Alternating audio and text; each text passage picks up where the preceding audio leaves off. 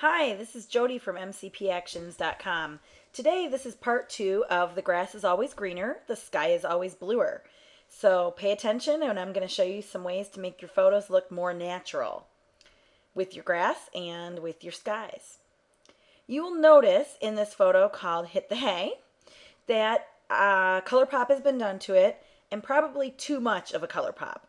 I know it's very popular right now to have bright colors in your photos, but a lot of times when you increase saturation via hue saturation, channel mixers, lab mode, your colors often will end up too neon, too bright, your greens will look yellow, and so on. I'm going to show you some ways to fix this photo today so we can make your sky look better and so we can make this grass and the hay look much more natural. We're going to be working today on an adjustment layer and we can either go under layer, new adjustment layer, hue saturation, or we can come in here with this black and white circle and click on hue saturation here. What we're going to be doing is we're going to be working with selective colors in the hue saturation box. So if you come to this drop down, you'll see there's a master red, yellow, green, cyan, blue, or magenta. So with this photo, we're going to go ahead and we're going to impact, um, we're going to start with the hay. And we're going to start with reds and yellows because I see that's a lot of what's in the hay. And we're going to go ahead and start by decreasing the saturation of the reds a bit. And you'll notice if we increase them to 100%, you can see anywhere that there's red in the photo. So you'll see how glowing that becomes and how in the grass there's some specks of red as well. We're going to decrease this until it looks natural, which is probably about there.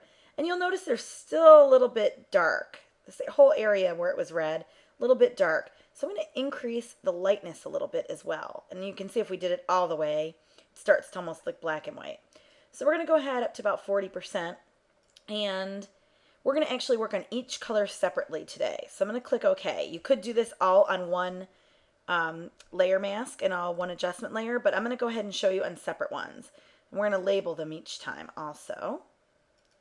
Sorry about that. Okay, so we're going to call this the hay. The next thing we're going to work on is, again, we're going to open up a new adjustment layer and do hue saturation. And we're going to go ahead and work on the grass with this one. The grass is very yellow. So we're going to go ahead. I know people think of grass as green, but this grass is very yellow. We're going to start out by playing with the hue a little bit. Because you can see if we come in this way, we can change the color of the grass. If we increase it, it's going to be making it more of a bright green, like a Kelly green. If we decrease it, it starts adding in more oranges and such. So I'm going to increase it just a little bit. But I'm going to be taking the saturation of the yellows out quite a bit. So I'm going to come down here and I'm at about negative 30 something. Then with the lightness channel, we can increase or decrease the lightness. Of course, if again, if we come in here and go up too much, it's going to start looking kind of dull. If we come down here, it'll make it kind of deeper. So I'm going to go ahead and decrease the lightness a little bit of this channel, of the yellows. And then let's go ahead and work on the greens as they relate to the grass. Now you'll notice if I increase it to 100%, there's actually not a lot of green. I know, it looks green. You can see little specks of green if you look carefully. There's not a ton of green in it, so I'm not going to actually worry about that as far as the grass today. So I'm going to go click out of here, so we actually only worked with the yellows so far, and we're going to call this grass. Next thing we're going to work with is the trees, which there are, is some green in the trees. So we're going to go ahead and we can do new adjustment layer this way this time. When you do it this way, it actually pops up a dialog box where you can label it. So we're going to go ahead and call this trees. We're going to click OK. And we're going to work with the greens this time. I'm going to pull the box down so you can see. If we increase the saturation, you'll see how bright the whole tree line is getting, especially where it meets the sky. If we decrease it, you'll see how dark it gets. So I'm going to actually increase it a little bit. And we're going to play now with the um, lightness and darkness and decide what we, we like that better. I'm going to actually go a little bit lighter. And then with the hue, we can decide if we want it to be more of a green, lush green, or if we want it to be more of an earthy green.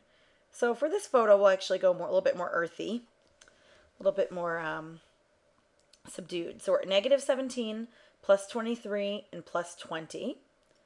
So that's our tree layer. And lastly, we're going to come in here and work on the sky. So we'll do a new adjustment layer. We're going to go hue saturation and we will call this sky. And again, we're going to keep everything else the same in that box. And with the sky, most people would say the sky is blue. And I'm going to show you that it is a little bit blue by putting it up to 100%, but it's not very blue. It's actually more cyan in this particular sky, in this particular photo. If I increase it, you'll see how much brighter and bolder it gets when I increase the cyans. But it's definitely a little bit of both. So the thing we're going to play with here is actually the hue starting out. And you can see how you can change the color of your sky.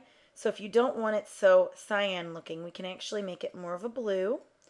We can even make it more purple. We can slide it in and we could actually make it look more sunset colors if we wanted. So you can see how that would look on the photo. And I'm going to come in here and make it back blue again, but I'm going to be about plus 25. So it's more of a realistic blue.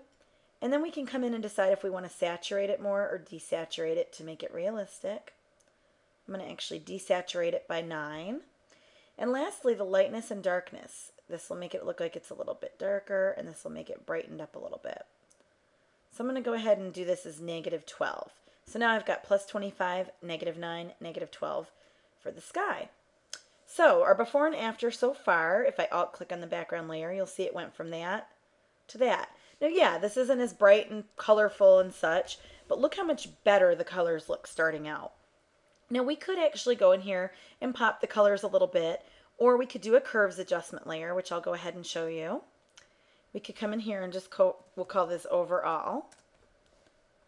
And I'm going to go ahead and do a little bit of an S curve.